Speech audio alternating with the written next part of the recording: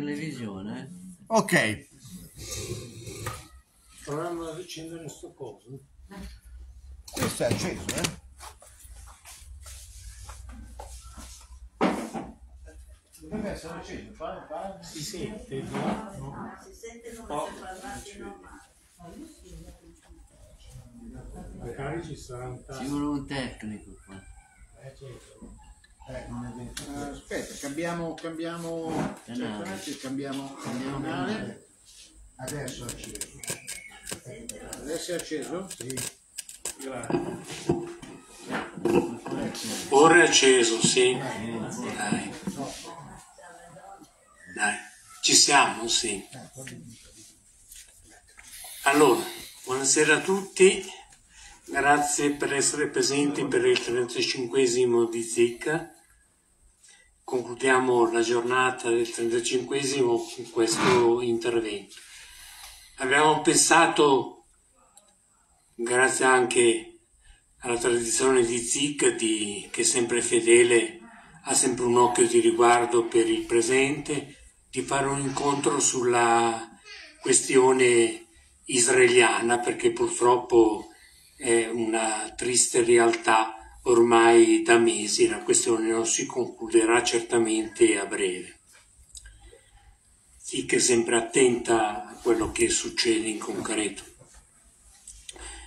Abbiamo pensato di affrontare la questione in un modo un po' diverso da quello che di solito viene affrontato, eh, ponendo l'accento sul perché, cercando di rispondere a questa domanda sul perché eh, della collaborazione stretta, strettissima, come cercheremo di dimostrare, tra Israele e Italia non è solo una collaborazione di tipo politico, ideologico, di allineamento banalmente politico, ma di trovare le ragioni profonde di questa collaborazione. Il lavoro è stato svolto da Massimiliano e da me e abbiamo cercato proprio di trovare il nocciolo della questione, cioè le ragioni veramente profonde di come mai questa collaborazione è così stretta.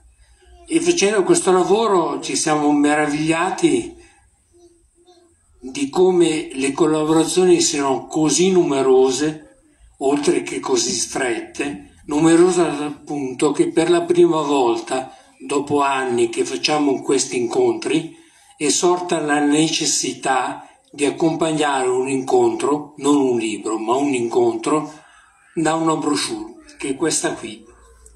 È la prima volta che un incontro viene accompagnato da uno scritto. Di solito è il contrario, è uno, un incontro è a corredo di un libro, è la presentazione di un libro. Questa volta invece è uno scritto che è a corredo di un incontro, perché sono così tante le cose da dire, sono così tanti i dettagli da enunciare che eh, vi avremmo tenuti qua per due, tre, quattro ore. Non era proprio il caso, per cui vi invitiamo poi a, eh, a prendere il libretto, approfondire, a leggerlo, perché lì ci sono tutti i dettagli delle collaborazioni tra Italia e Israele, i nomi, i cognomi, i, tutti i dettagli che troverete e sono veramente stupefacenti di come ciao ciao di come sono numerosissime, strettissime, intensissime da decenni, sottolineo questo aspetto, perché pare che le collaborazioni siano uscite ora. No, le collaborazioni sono da 30 anni più che ci sono tra Italia e Israele. E quindi nel libretto sono, sono più di 50 pagine, sono dettagliatissime, sono numerosissime e quindi ci sembrava opportuno dettagliarle in forma scritta per non tenervi qua eh, delle ore. Quindi ci limiteremo qui a denunciare proprio eh, le questioni fondamentali, meglio le ragioni per cui esiste questa strettissima collaborazione tra i due paesi. Però prima di affrontare, anche se per sommi capi, questa collaborazione, è necessario fare eh, un percorso, seppur breve, un percorso storico, cioè capire del perché Israele ha avuto un'evoluzione negli ultimi 30 anni che è diventato il primo paese al mondo, sottolineo, il primo paese al mondo per la ricerca scientifica, l'applicazione tecnologica nei più svariati campi, sia non solo della ricerca militare, ma soprattutto della ricerca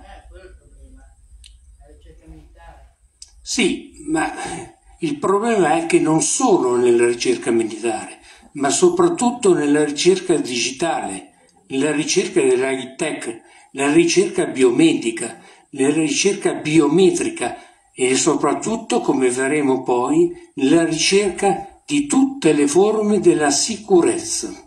È diventato il primo paese al mondo per tutte le applicazioni di dati biometrici dei dati della sicurezza. È diventato il primo paese al mondo per tutta la ricerca dei dati biometrici. E questo suo sviluppo trentennale, più che trentennale, ha una ragione storica e precisa. Quindi prima di affrontare nel dettaglio, o meno nel dettaglio, sorvolando un po' e rimandandovi al libretto per il dettaglio, per le ragioni che vi ho detto prima, bisognerà affrontare per forza di cose quelle ragioni storiche che hanno portato Israele a questo livello, perché altrimenti non sarebbe comprensibile come mai Israele è arrivato a questo punto storico. E non sarebbe comprensibile soprattutto capire perché Israele è denominata la democrazia del Medio Oriente. Non sarebbe comprensibile perché e accettato da parte del mondo cosiddetto democratico atteggiamenti da parte dello Stato sionista, dello Stato israeliano, che altrimenti non sarebbero assolutamente tollerati da paesi che si chiamano democratici. Perché determinati atteggiamenti di Israele, quelli che sono sotto gli occhi da mesi di tutti, vengono ampiamente tollerati e non sarebbero assolutamente tollerati da parte di altri paesi comunemente chiamati democratici?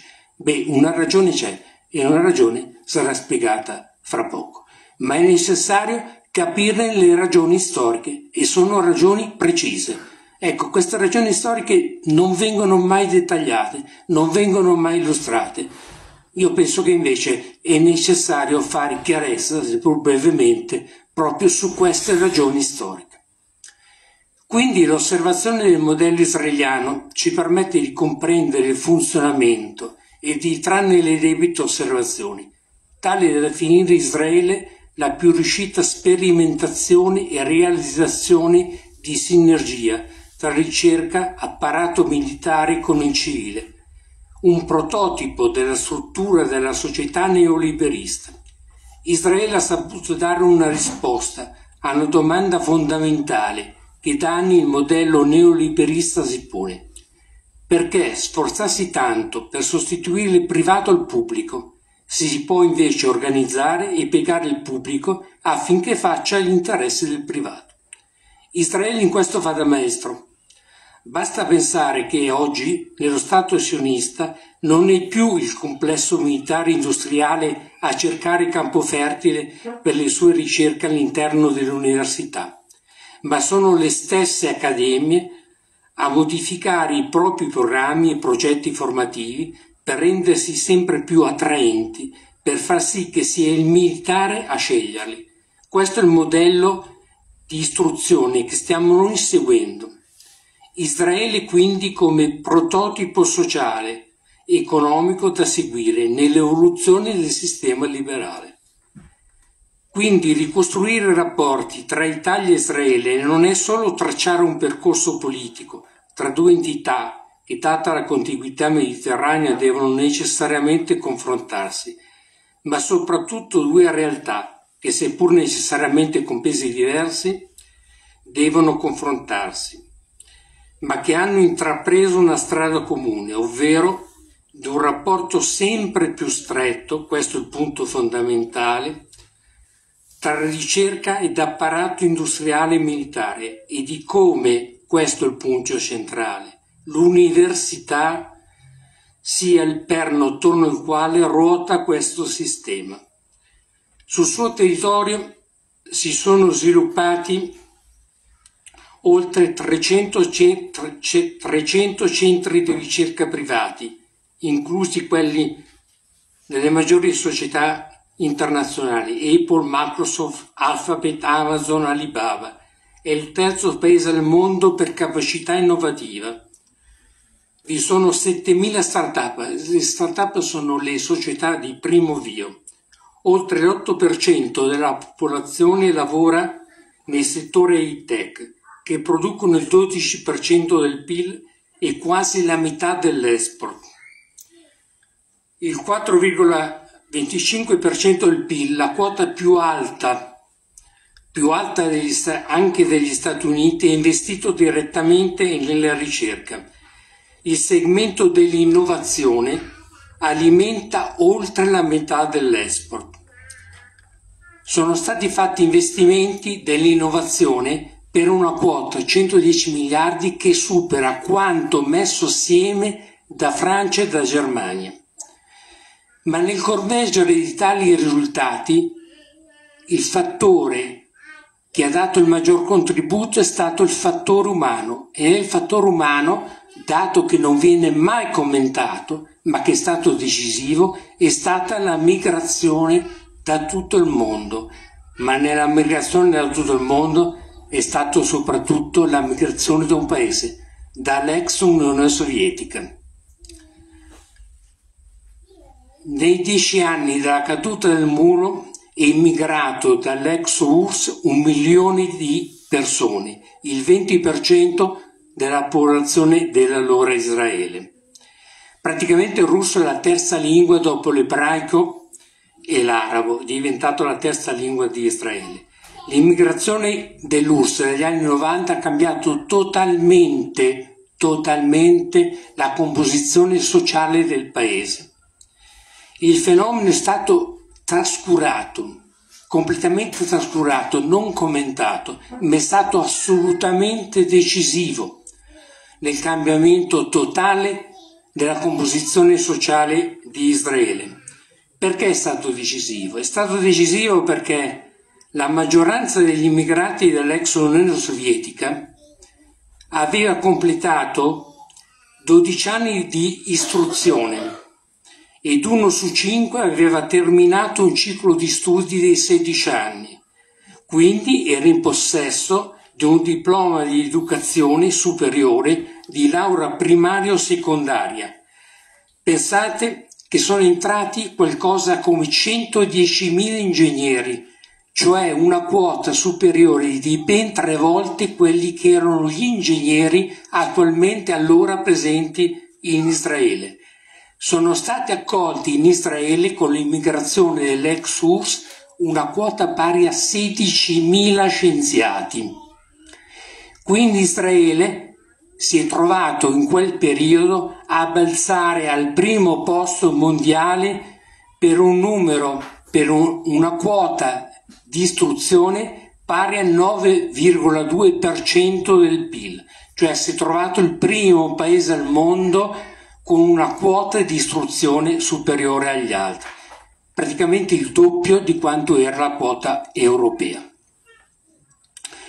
Contemporaneamente, questo è il dato decisivo, e qui vendo compagno alla tua giusta osservazione, parimenti la produzione militare la ricerca militare è andata di pari passo con la quota di istruzione, perché è passata al massimo livello infatti è, è balzata al 75% del totale prodotto, così come è balzata anche la quota di esportazione militare. Infatti, cosa è successo da allora? E questo è il dato decisivo, Da allora, come è cambiata la composizione sociale di Israele, grazie all'immigrazione dell'URSS, grazie alla quota di istruzione balzata e così grazie al fatto che è balzata l'istruzione, è balzata la quota di produzione militare, il perno di tutto il successo di questa trasformazione sociale è passato all'esercito, che è stato il vero protagonista di tutto il successo della trasformazione. E allora cosa è successo da allora in poi? Ed è quello che caratterizza oggi Israele. L'esercito funziona da primo selezionatore delle risorse. L'unità scelta dall'esercito israeliano è l'unità cosiddetta 8200. Ma compagni guardate, in tutti gli eserciti del mondo noi intendiamo come unità scelta i corpi militari scelti, cioè i corpi fisici, tanto per intenderci la Folgore, i Marines. Bene, in Israele il corpo scelto militare non è un corpo scelto fisico, non sono i Marines, non è la Folgore, non è San Marco, ma l'unità 8200 si occupa della cyber security, si occupa della ricerca della digitale. E cosa fa la cyber security? Entra nelle seconde classi dei licei, cioè nei sedicenni, svolge attività di selezione dei sedicenni con criteri propri, seleziona le menti migliori e all'età di 18 anni, cioè dopo l'esame di maturità, li fa entrare nell'unità 8200. Svolgono il servizio militare non mandandoli a casa, ma nell'unità 8200. Passano i tre anni del servizio militare che in Israele si fa prima dell'università, conseguono la laurea equivale a ingegneria elettronica, senza fare il militare, che in Israele non è cosa di poco conto, perché si può anche morire. Fatto quello che poi gli apre le porte a una grande carriera privata, laurea che vale anche per gli Stati Uniti, eh?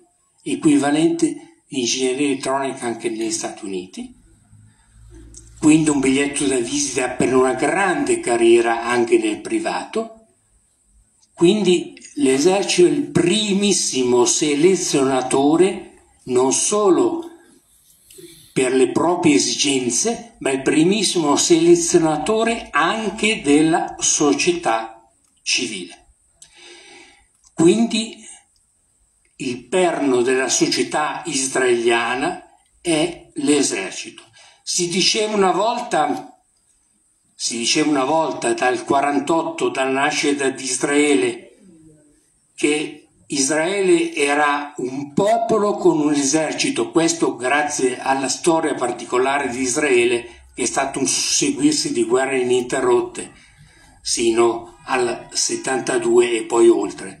Oggi il paradigma è il contrario, non è più un popolo con un esercito, ma è un esercito con un popolo, perché l'esercito è il perno della società civile, è l'università, è lo strumento attraverso il quale, poi lo vedremo in pratica fra poco, attraverso il quale l'esercito manovra direttamente la ricerca tecnologica, la ricerca scientifica e manovra la selezione sociale. Attraverso questo quindi è una società di feroce selezione delle menti, è una società darwiniana di selezione delle intelligenze, è una società che ha sostituito la selezione di classe economica alla selezione dell'intelligenza, è una società quindi che ha un numero di cercatori pro capite primo al mondo, 8,20 8,25 ogni milione di abitanti, quasi il doppio degli Stati Uniti d'America. È lo Stato che a supporto dell'innovazione è lo Stato che spende il doppio rispetto agli Stati Uniti, quasi il doppio rispetto agli Stati Uniti, il triplo rispetto all'Italia. È lo Stato che si aggiunge a questi numeri, si aggiunge la ricerca militare che ha dei pesi straordinari, quasi tre volte rispetto all'Italia. I settori a loro in maggior crescita non meraviglia che sono il cyber, il digital health, l'industria 4.0, il food tech, il fine tech, che è l'innovazione finanziaria. Gli investimenti nell'innovazione sono strettamente collegati al rapporto con gli USA, ma attenzione, non sono subordinati gli USA, sono gli USA che sono subordinati a Israele. Perché? Per una ragione molto semplice. Se la Silicon Valley, la mitica Silicon Valley, è ritenuta per l'uomo comune, per l'uomo di strada, il tempio nell'industria digitale, beh, la Silicon Valley tanto celebrata ogni anno, ripeto ogni anno, va in Israele per fare shopping dell'industria digitale. Le start-up israeliane, quindi le società appena nate in Israele, si mettono in bella mostra, in bella vetrina, non possono essere capitalizzate per ragioni semplici finanziarie come quelle americane, si mettono in bella mostra con le loro novità digitali, vengono acquisite dalle corporation americane, vengono capitalizzate e vengono portate negli USA. Il percorso tipico di una startup eh, israeliana è quello di nascere attorno all'innovazione militare, è quella di mettersi in mostra, è quella di essere acquistata quindi dalle corporation della Silicon Valley, è quella di essere portate in USA, capitalizzate e da lì lanciate nel mercato. Quindi è l'esercito che è il perno di tutto, è il perno della ricerca tecnologica, della ricerca scientifica. Quindi gli investimenti dell'esercito sono investimenti materiali in seconda battuta. I primi investimenti dell'esercito sono investimenti intellettuali e sono indirizzati dove? E questo è il secondo punto fondamentale, fondamentale. Senza questo non ci sarebbe spiegazione del perché Israele non è contestato a livello globale, come dovrebbe essere contestato. Dove sono investiti? Dove son, vengono fatti gli investimenti intellettuali nell'esercito? dall'esercito nel mercato innovativo israeliano. Sono nel settore del controllo, della security, delle tecnologie informatiche, nel settore cibernetico.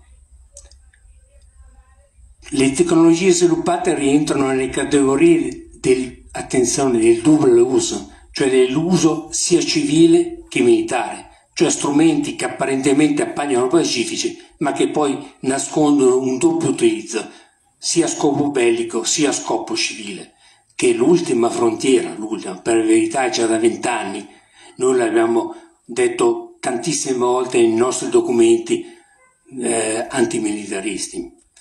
Ma il vero valore aggiunto di Israele è rappresentato dalle politiche di sicurezza, di spionaggio, di sorveglianza, di polizia, di intelligenza artificiale che ha potenziato e affinato grazie alla sperimentazione sul campo nell'occupazione dei territori palestinesi.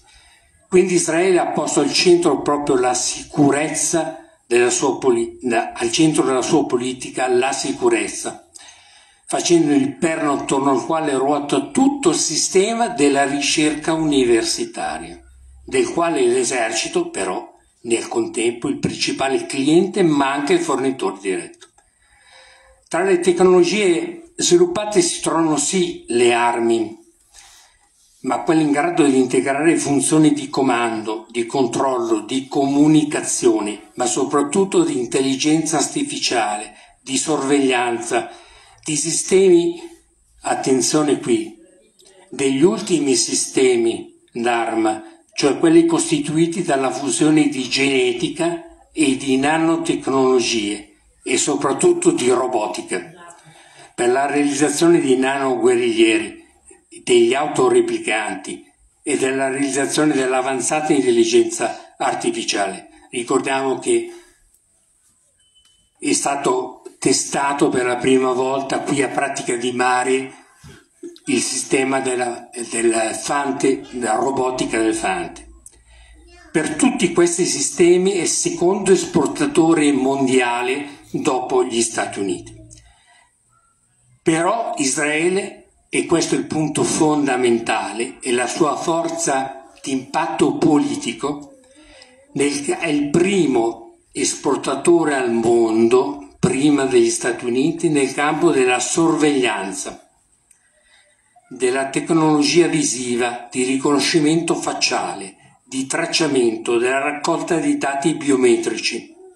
E quindi per questa ragione ha strettissime relazioni con i paesi che tradizionalmente sostenevano i palestinesi, come l'India e la Cina, e alcuni di essi figurano, tra questi paesi, i primi partner commerciali nei settori militari e della sicurezza. Se nei confronti del complesso militare e industriale dei paesi del nord del mondo ha un rapporto quasi pari pari, o quasi, con quelli dell'America Latina e con i paesi arabi e musulmani e in genere del cosiddetto terzo mondo ha un rapporto basato esclusivamente sulla sua supremazia tecnologica della ricerca scientifica. E in questi paesi conduce corsi di formazione per chi?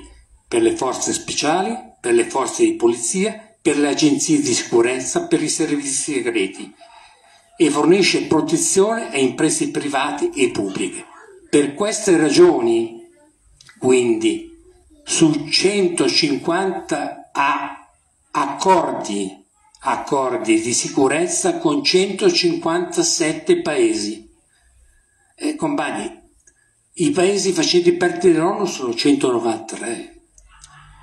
Cioè adesso ci si rende conto come mai possono passare impunite a livello mondiale certi comportamenti, perché se abbiamo accordi con 150, cioè 157 paesi su 193 paesi facenti parte dell'ONU, allora comprendiamo quanto è vasto gli interessi di collaborazione di Israele nel panorama internazionale per cui ha saputo trasformare la sua capacità tecnologica, scientifica, di ricerca in peso politico.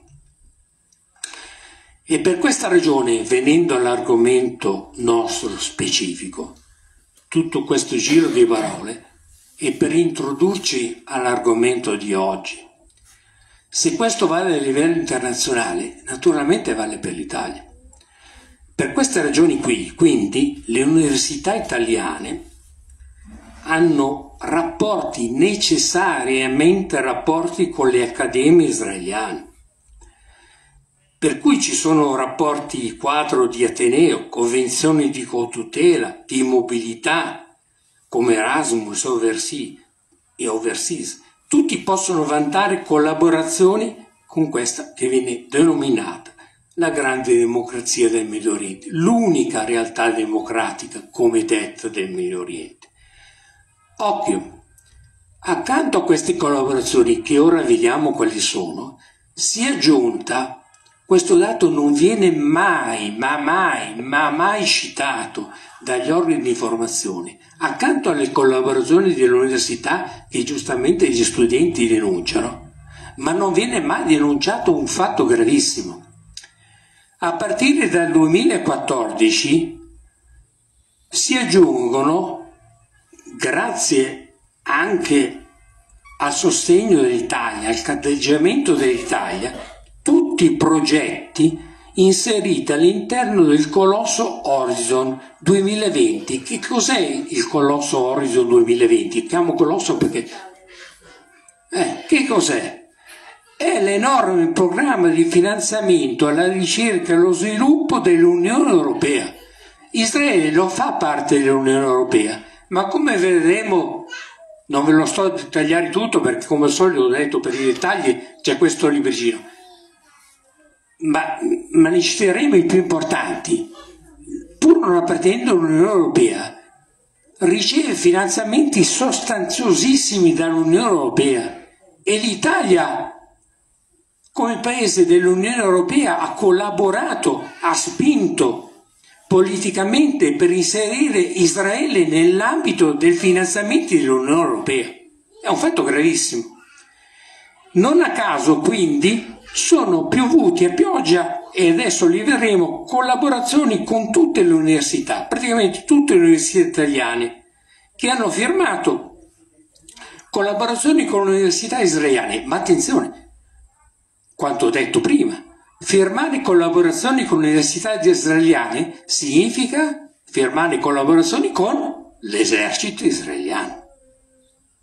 Non è quando tu firmi una collaborazione con un'università israeliana, eh, e questo è il telegiornale che si ferma a dire che gli studenti contestano la collaborazione con l'università israeliana. No, L'università israeliana, per quanto ho detto prima, significa, e poi lo dettaglieremo fra poco, esercito israeliano. Questo è il problema. Quindi collaborare significa collaborare direttamente con l'esercito israeliano. Questa collaborazione è una collaborazione che dura da 30 anni perché la banca dati curata congiuntamente dal Ministero dell'Istruzione, dell'Università Italiana, della Ricerca e dalla conferenza dei rettori dell'Università Italiana elenca ben 130 progetti dell'Università Italiana sottoscritti negli ultimi 30 anni. Le aree di ricerca vengono privilegiate dai senati accademici nei settori tecnoscientifici, informatici, ingegneristici, alcuni dei quali con possibili diretti ricadute nel settore militare. Però il Ministero israeliano della Scienza, Tecnologia e Spazio eh, finanzia direttamente la creazione di laboratori congiunti. Infatti c'è il laboratorio congiunto sulla biorobotica che punta a sviluppare dispositivi bionici e robot umanoidi coordinati dall'Università di Genova della Ben Gurion University. Ben Gurion, che è una delle più importanti, poi vediamo che cosa fa la Ben Gurion. Per quanto riguarda l'ambito della microtecnologia e dei neuroni elettronici, l'Istituto Italiano della Tecnologia di Genova collabora con l'Israele Italian Ministry of Science and Technology, MIAMOST eh, è l'acronimo, e hanno modernato il primo Cyberlab sulla, Cyberlab sulla sicurezza in collaborazione con la Tel Aviv University per la realizzazione di un laboratorio di sicurezza informatica. Il laboratorio ha sede presso il Dipartimento di Ingegneria Enzo Ferrari. Ora io potrei anche eh, dire che sono circa una cinquantina le collaborazioni principali tra le varie università italiane e israeliane, cavarmela così. Eh, vi chiedo un attimo di, di, così, di, di, pazienza, vado veloce perché mi, mi pare significativo eh, eh, invece elencarle un attimo per dare la profondità comunque di queste collaborazioni. L'Istituto Israele di Tecnologia accorda di collaborazione con l'Università degli Studi di Ferrara, la Sapienza di Roma, l'Università di Torino, con Roma 3, col Politecnico di Milano, col Politecnico di Torino. L'Università di Tel Aviv collabora con l'Università degli Studi di Brescia, con Ca' Foscari di Venezia, con l'Università di Catania, col Politecnico di Milano, l'Orientale di Napoli, la Sapienza di Roma, l'Università di Torino con l'Università di Genova, l'Università di Napoli, con l'Università degli Studi di Bologna, di Ferrara, con la Federico II di Napoli, con l'Orientale di Napoli, con la Cattolica di Milano, con l'Università di Padova di Trento, l'Università di Haifa con l'Istituto Trentino di Cultura, l'Università di Bar Ilana con l'Università eh, di Trieste, l'Università di Catania, di Firenze, di Udine, col Piemonte orientale, con la Normali di Pisa, con la Sapienza di Roma, con la Ca' Foscari di Venezia, la Ben Gurion ha progetti in corso con l'Università di Studi di Bologna, di Genova, con l'Orientale di Napoli, di Pavia, col Politecnico delle Marche, di Roma 3, di Torino, di Trieste e di Udine, con l'Università di Genova per lo sviluppo degli dispositivi bionici e robot umanoidi, l'Accademia Koggi di Tel Aviv, accordi con l'Università di Modena e di Reggio Emilia, Ben Gurion, accordi, come detto prima, con l'Università eh, di Modena e di Reggio, la Interdisciplinary Center Erzili e invece accordi con l'Università degli Studi di Roma 3 e la Luis Carli e la Libera eh, e la Luis Carli, l'Università Internazionale di Studi eh, Guido Carli di Roma. Sono andato veloce, ma mi sembrava mh, giusto dare un, un panorama, dirlo uno per uno. L'altra questione di collaborazione tra Italia e Israele, che volutamente, secondo me, non viene citata, non ho mai sentito un dibattito pubblico, invece in questi giorni, proprio in queste settimane, in cui è aperto proprio la questione di Gaza, in cui c'entra molto Gaza, e quindi secondo me è fatto proprio ad arte, è una questione molto delicata che coinvolge l'Italia eh, in modo molto diretto e molto delicato, che è totalmente ignorata e che non può essere ignorata per il suo peso, per il suo grande peso economico e geostrategico, che credo che qui tra i presenti, non so, eh, vorrei sentire se qualcuno ne ha conoscenza diretta. Il ruolo del gas, qualcuno ne ha di conoscenza? Tu, tu ne sei a conoscenza. Quello che c'è davanti a casa. Eh, quanti? Uno, due, tre. Abbiamo anche discusso. Allora, i giacimenti di gas e il nuovo ruolo energetico israeliano è una questione delicatissima e anche una lettura, una lettura perché la realtà ha sempre diverse letture, e anche una lettura dell'attuale conflitto di Gaza. Il Mediterraneo orientale negli ultimi anni ha assunto un ruolo sempre più centrale grazie alla scoperta di rilevanti giacimenti di gas. Inoltre la crisi energetica acuita dall'attuale conflitto ucraino eh, ha, ha messo in rilievo proprio queste, queste nuove fonti che grazie alla loro posizione strategica eh, assunto una rilevanza del tutto eh, fondamentale. Questi giacimenti di gas di fronte a Gaza sono due, uno dello, eh, si chiama Levitan e l'altro è quello di Itamar, sono due giacimenti gi- eh, gemelli eh, siti più o meno a 20 km a nord di Gaza. Ha cambiato completamente il panorama eh, energetico del Mediterraneo orientale, ma anche la posizione strategica di Israele. Israele è il paese povero di energia rispetto agli altri del Medio Oriente, da paese nettamente importatore di energia è diventato paese, si sta approntando per diventare paese nettamente esportatore di energia. Ma c'è un'altra questione fondamentale, che è quella del gas palestinese. Il 29 ottobre 2023, in piena guerra, è stata firmata una convenzione con Eni e questo è il fatto che non viene detto. Con Eni, l'inglese Dana Petroleum è una filiale della South Korean National Petroleum Company e l'israeliana Razzo Petroleum. Queste sono le società coinvolte.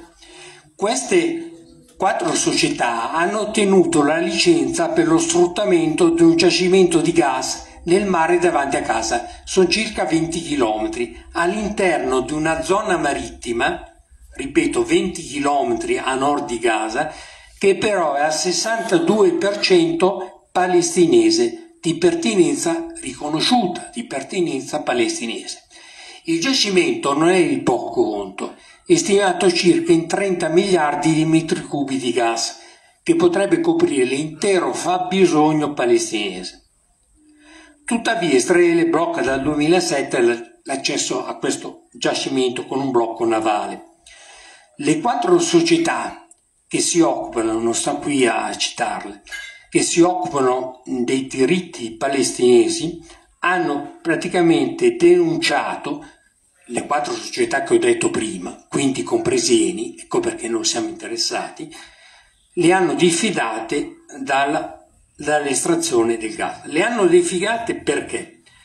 Perché, la faccio breve per rendere chiara la questione, perché nel 1982 è stata firmata una convenzione, si chiama con un acronimo UNCLOS, la faccio breve eh, per capirla, in cui è stata riconosciuta la Palestina come Stato sovrano e quindi come Stato che può vantare i diritti su quella zona di mare. Israele ha risposto a questo dicendo che non riconoscendo questa convenzione non riconosce la Palestina e quindi non riconosce i confini marittimi di pertinenza di palestinesi. Quindi non riconosce ad Eni e alle altre quattro, quindi riconosce ad Eni e alle altre quattro società i diritti di trivellare completamente le quote di gas. Le società che difendono i diritti dei palestinesi hanno invece notificato ad Eni e altre due compagnie che qualsiasi tentativo di esplorare e sfruttare le risorse naturali rivendicate dallo Stato di Palestina senza il suo consenso violerà inevitabilmente il diritto internazionale umanitario, comprese le leggi sull'occupazione, e le hanno avvertite che la complicità in crimini di guerra come saccheggio è un reato grave che espone gli autori delle corporation a responsabilità penali individuali.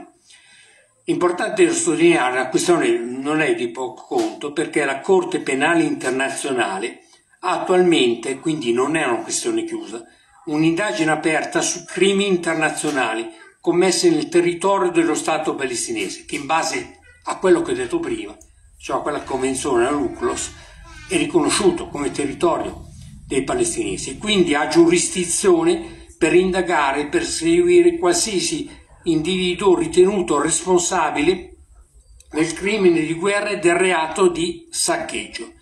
E quindi non può partecipare a nessuna gara ed effettuare esplorazioni di gas nelle aree marittime della Palestina in violazione del diritto internazionale.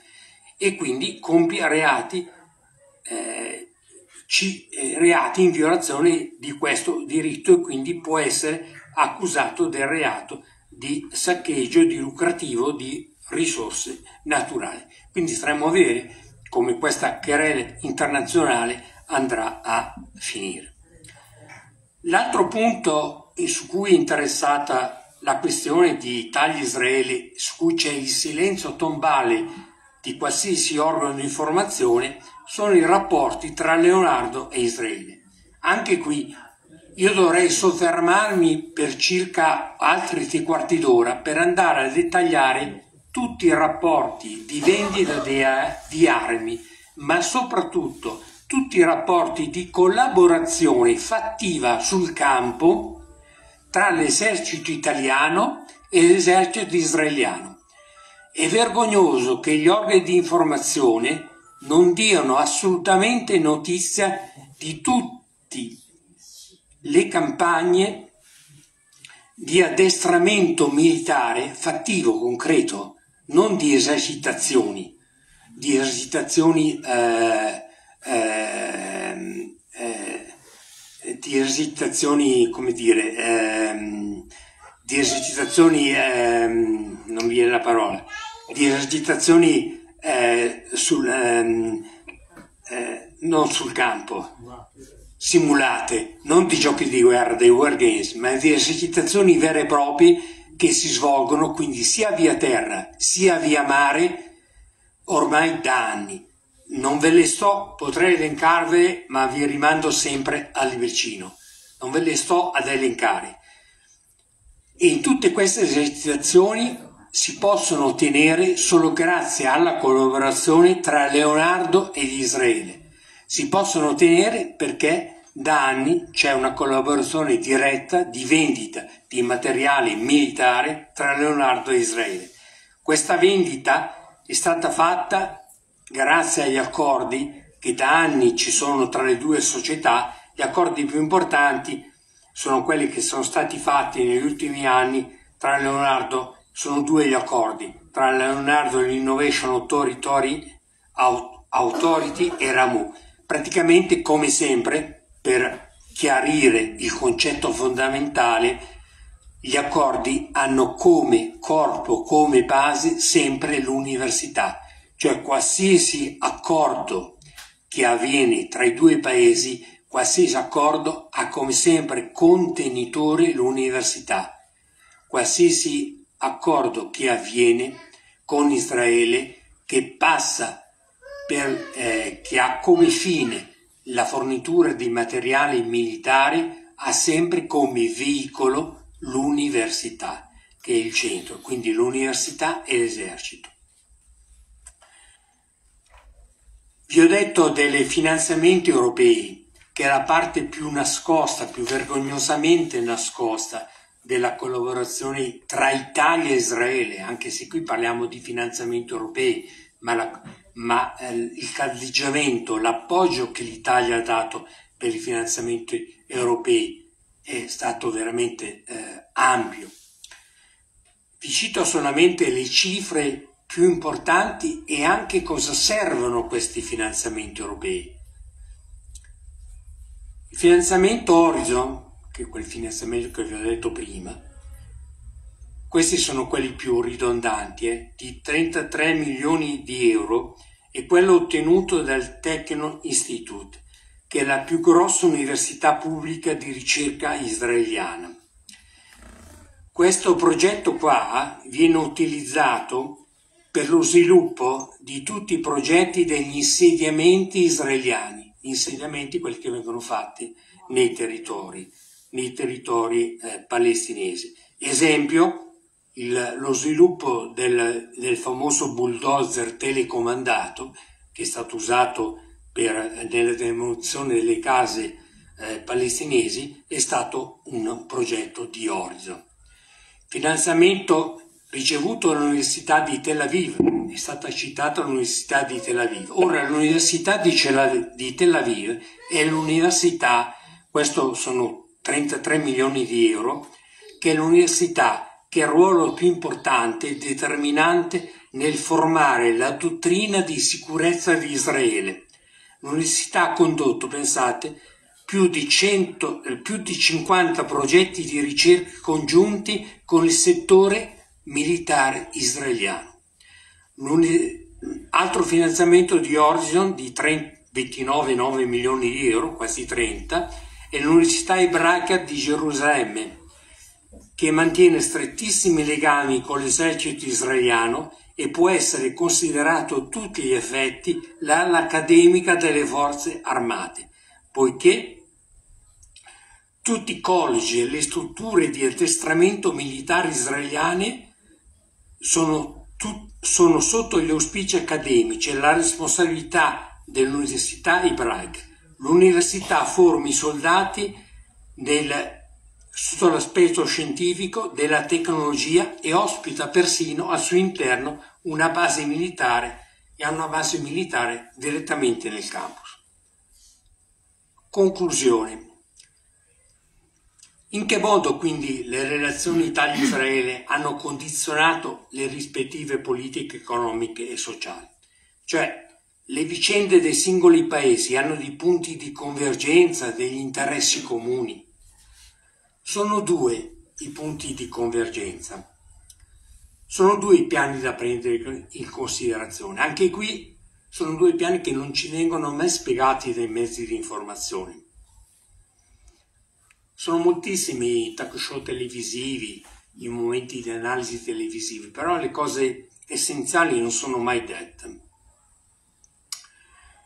Ci sono due aspetti. Il primo aspetto riguarda ne avete sentiti comunque parlare, sono stati nominati qualche tempo fa e poi non più ripresi, i famosi accordi di Abramo, cioè voi sapete che una parte dei paesi del Golfo si è avvicinata a Israele, ha riconosciuto Israele, no? in particolare gli Emirati Arabi. Poi sapete geograficamente no? i paesi del Golfo dove sono situati. No?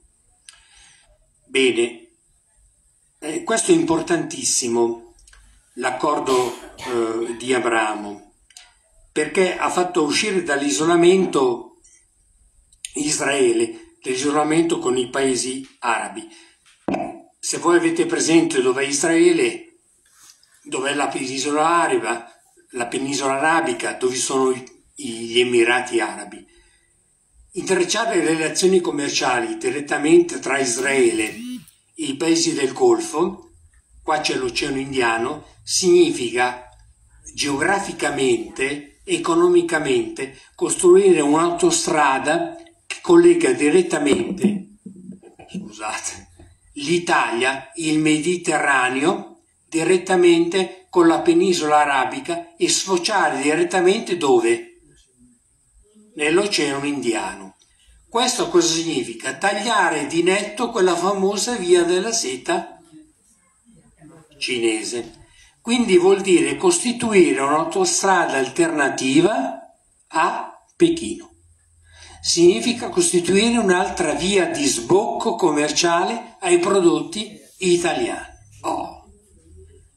Ecco perché l'attacco di Hamas ha tanto infastidito alcuni paesi occidentali, perché porre che esiste tra i piedi, dico io banalmente, la questione palestinese che è sempre una questione che impedisce, cioè è sempre un bastone fra le ruote agli accordi di Abramo, ci ricorda che esiste sempre una questione tra gli accordi di Abramo e la pacificazione con Israele, che è la questione palestinese.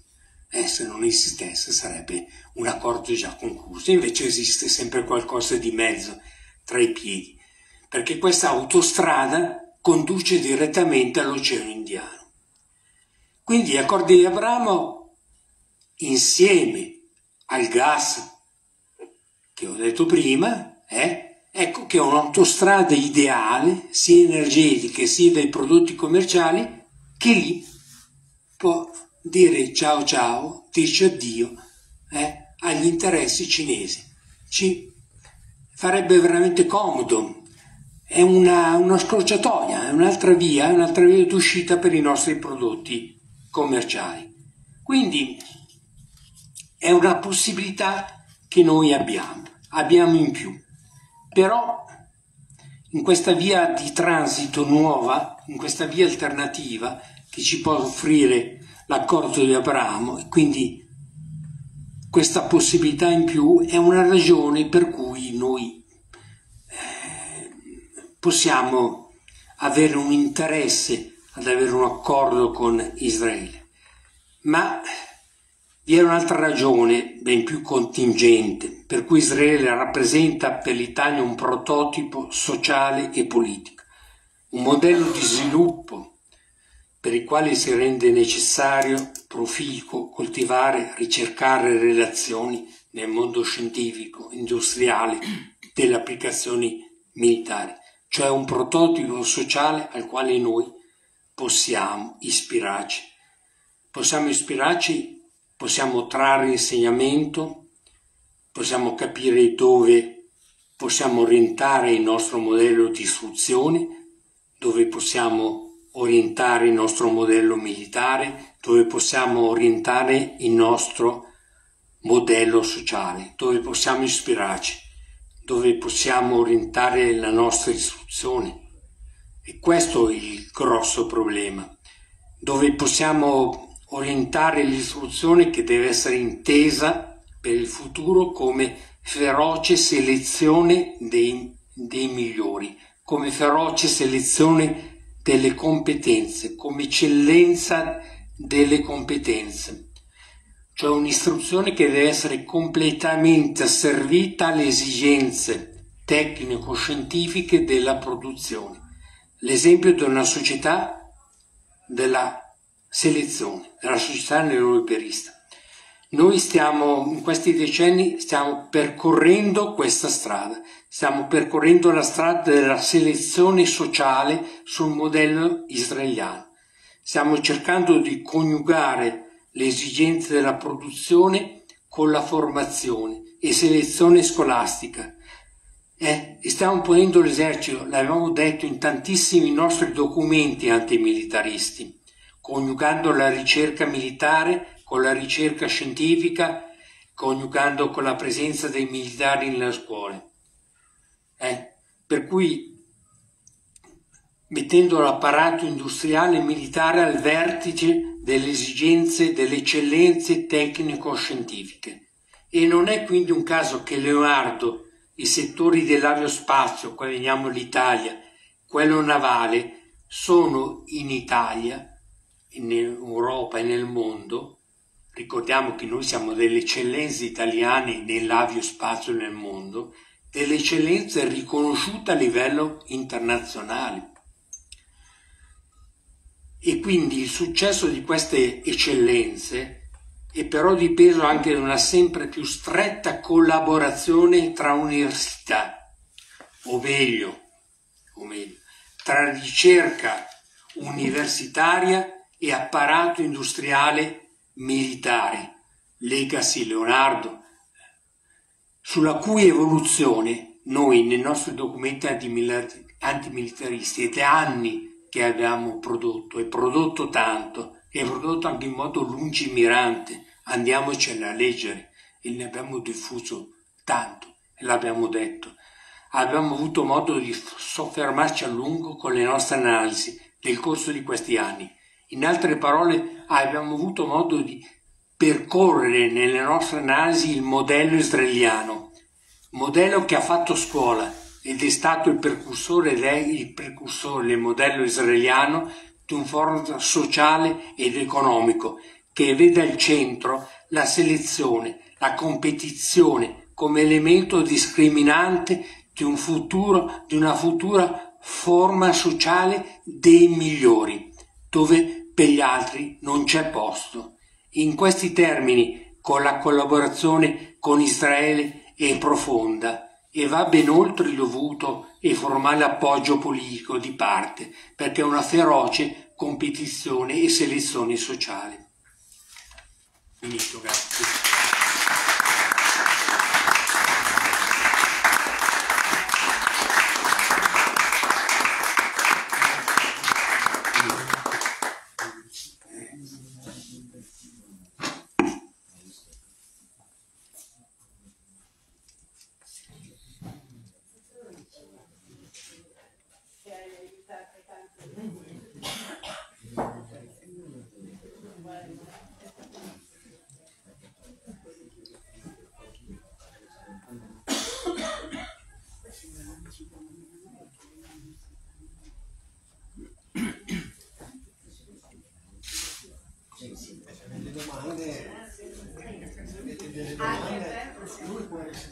Io avrei una domanda.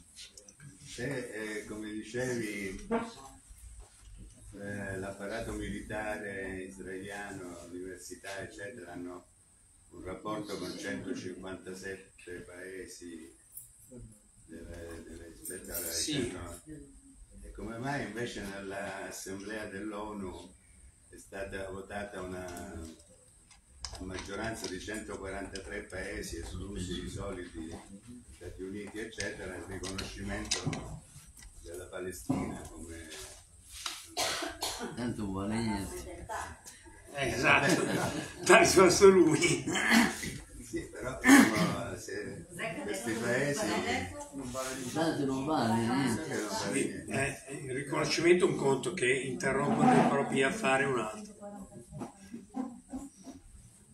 Poi, scusa, le università, le università che collaborano con le università in Israele, le nostre, percepiscono anche loro all'interno del progetto Horizon, percepiscono anche loro dei finanziamenti non indifferenti, perché molti progetti Horizon sono di eh, collaborazione tra università, proprio per cui, non so, per dire, se l'Università di Tel Aviv percepisce 30, Sì, sì, 33 milioni Sì. di euro, ma se collaborano con l'Università di Bologna, anche l'Università di Bologna percepisce la loro fetta, perché sono progetti sì, sono progetti comuni. Per forza che non molleranno mai. Sì, sì, sono progetti comuni. Qui nel libricino si è spiegato un po' più in dettaglio. In realtà questo libricino qua, per dirla tutta, era il doppio, poi abbiamo dovuto tagliarlo perché altrimenti veniva fuori un libro. Quello che è incredibile, eh, abbiamo tagliato tutta la parte che riguardava le società, eh, può dirlo lui. Per esempio, ehm, A2A, A2A, Anche, anche le società private Eh, sì, sì, no, no, sì, sì. l'associazione, come si chiama? A2A, i laboratori di ricerca, non dice A2A cosa c'entra con Israele. Tutte le società di ricerca, per dire A2A, sia eh, quella di Milano sia quella di Brescia, perché c'è a Brescia, i laboratori di ricerca li hanno in Israele. No. Si spiega.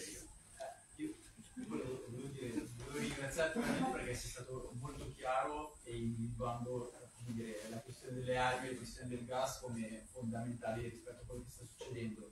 Eh, sull'iniziativa della Via della Seta la scelta dell'Italia è stata abbastanza chiara perché se non sbaglio nel marzo del 2019 eh, il primo governo Conte aveva firmato un accordo qua con Xi Jinping per, per Sì, Di Maio c'era. come? Di Maio. Sì, sì, Sì. Di Maio e il governo era il primo governo Conte.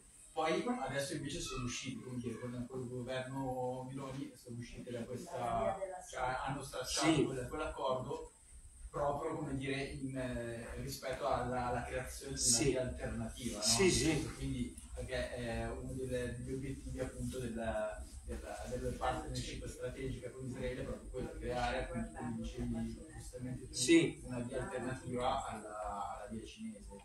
Questo che in questo momento, oltre al discorso delle armi, è proprio non, non si possono mollare.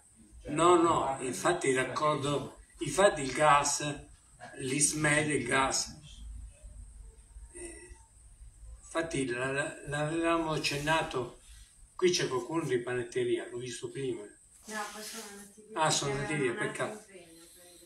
Eh, perché altrimenti è interessante perché quando due anni fa parlai a panetteria de- eh, dell'ENI e del Mediterraneo, accennare l'ISMED, qui eh, anche l'autorità nazionale palestinese lo sottoscrisse. Ci fu un attimo di, di, di- di perplessità, non ricordi, no? Ci fu un attimo di perplessità nell'assemblea. No, Eh, ma sai, figurati se c'è qualcuno che, che, non credo proprio. beh, no, comunque ci fu un attimo Se di, tu l'hai visto te lo ricordi io non eh, ci fu un attimo di perplessità. In realtà si, si riferisce a, a- a questa cosa qua, che, che è stato proprio l'inizio di una, di una via alternativa. Allora era molto meno chiaro di oggi. Eh, perché ci sono state anche delle scoperte su Ci sono state, perché Levitan è venuto dopo. è venuto dopo Alismed, ma la- la- lo scopo era quello lì. Comunque voglio dire, la relazione di, di Daniele conferma ancora più l'importanza della lotta che stanno facendo gli studenti con l'occupazione delle fabbriche come un punto centrale. Chi nega questa roba qua, e quel- e qualcuno sta facendo, e, e, voglio dire, e- sbaglia di grosso. Va sostenuta a tutti gli effetti perché in questo momento qua anche il materialismo è l'opposizione più forte verso il governo eh, eh, Meloni, no? Perché non va più fa solo la manifestazione di protesta, ma va a colpire in, in un punto molto importante. Sono contento invece che ha tirato fuori la questione del gas, che ti dico che l'avrei fatta io in questa occasione, se- perché per il silenzio che c'è, perché eh, noi ne abbiamo appena accennato l'altro giorno in riunione, ma erano tante cose, e abbiamo anche accennato e dobbiamo approfondirlo perché su questa cosa siamo chiamati a, far, a portare avanti una battaglia perché è una contraddizione grossa, nel senso che eh, proprio nel mare di- davanti a Gaza a me mi risultava che il 60% era stato attribuito a- com- alla, alla Palestina. Sì, il 62%. Eh, sa- ah sì, allora avevo capito male, ho capito male. E che c'erano già stati degli accordi, cioè in primo momento Israele ha scoraggiato tutte le aziende perché ancora i rapporti di forza non erano ancora chiari, ha scoraggiato tutte le aziende che erano interessate a fare questa operazione di estrazione. Però già a marzo dell'anno scorso fa un incontro con la Meloni e ci sono già lì delle promesse. Ci sono delle promesse. Infatti poi è successo in seguito che è stata sca, sca, scavalcata anche una gara normale come si fa. No? Eh? E guarda caso, e guarda caso, succede il 7 ottobre, quello che sappiamo tutti, e il 29 ottobre, come dei sciacalli, fanno l'accordo tra sì. Meloni, tra, tra Leni, scusa, sì, Leni però vuol dire la Meloni, e, la, e, e, Israele fanno un accordo. E, e, penso che qui, questa cosa qua eh, sia un fatto anche ulteriormente grave sul quale dovremmo continuare a fare quel discorso dell'Enima questa volta proprio all'interno di una battaglia molto più significativa. Però eh, mi ha colpito che tutto questo gran vociare sulla questione nei mezzi di informazione è stato totalmente eh, in, eh no, ma interessi cioè, eh, se, la collabora, cioè, se la collaborazione tra Italia e Israele è venuto fuori a livello università per le contestazioni degli studenti eccetera beh questa qua è più diretta di questa non, non c'è. O è totalmente totalmente totalmente ignorata. Dovremmo ma totalmente? Eh? dovremmo fare in modo di imporre la totalmente ignorata eppure la più diretta la più, la più, più importante cioè la più interessata altro che piano Mattei. Eh, esatto, eh, cioè, eppure è stata totalmente misconosciuta, quindi è incredibile, totalmente misconosciuta.